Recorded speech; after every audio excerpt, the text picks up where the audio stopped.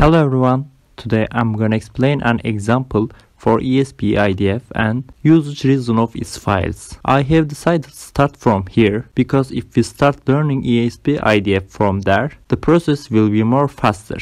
Let's start the machine.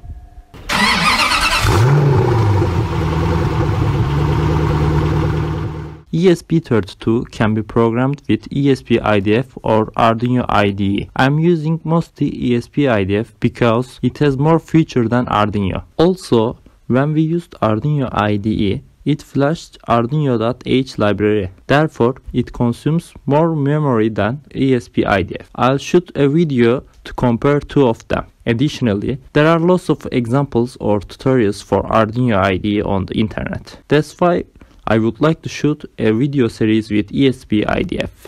ESP-IDF is a framework for ESP32 chip. It's the official IoT development framework created by Espressif.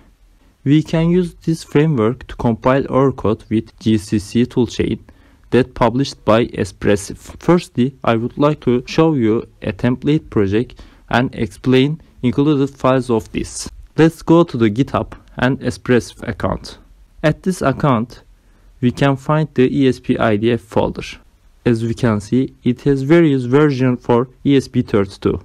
I use 4.0 version of it because 4.1 and 4.2 versions are in beta station. From there, let's go to the template project to be used as template project I published. What's the meaning of it?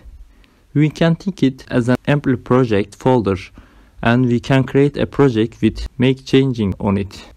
And don't forget, I prepared this template for ESP-IDF 4.0 version. It probably got error on older versions. Let's go inside of main folder. This main.c file has our main code. Click it. If you're familiar with C coding, you probably understood meaning of this. These lines start with hashtag, so there are header files which included the project. If it starts with quotation mark like that, it means that these header files come from our framework as a component. Otherwise, it come from common C language libraries. And this app main function is our main function that runs each line for once. If the device finish app main and exit from it, the device will get reset. Therefore, there is an infinite while loop to keep it in app main. You probably know printf function. It comes from stdio.h library and print it to console what we wrote inside of it. int is an integer and it's increased at each loop.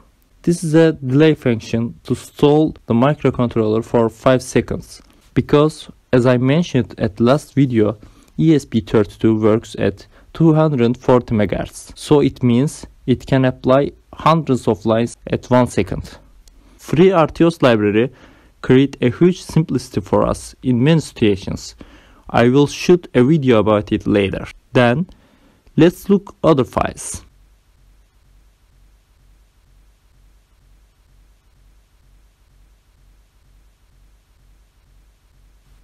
As you can see, it routed main.c files as crc.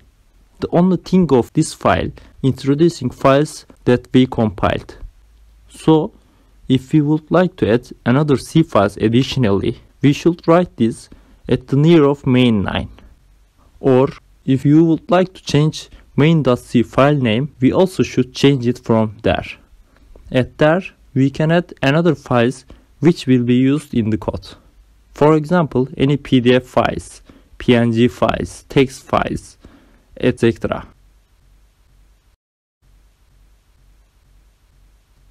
This file has some config values which can be changed from menu config. It's the name of value. This is default value. This is help sentence for config.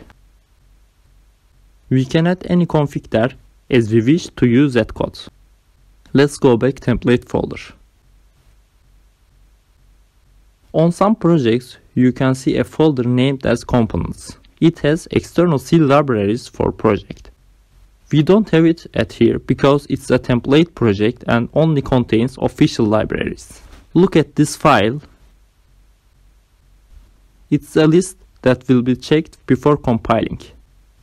The ESP-IDF compiled with CMake and there is minimum version of it to compile.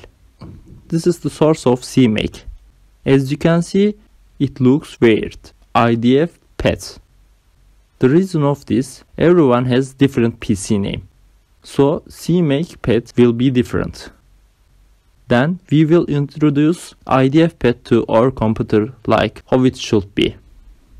I'll explain and show how to do it later. This is the name of our project which will be seen from CMake. Let's look at the others. This is makefile which is necessary to compile the project. There is also project name and it should be same with what we wrote at CMake list file.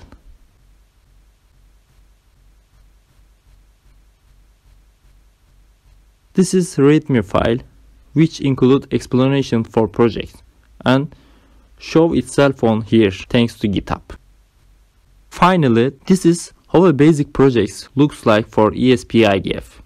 On the next video, I'll show how to download toolchain, ESP IDF and how to set up environment to compile the project. That's all I am going to talk about today. Stay motivated and subscribe me.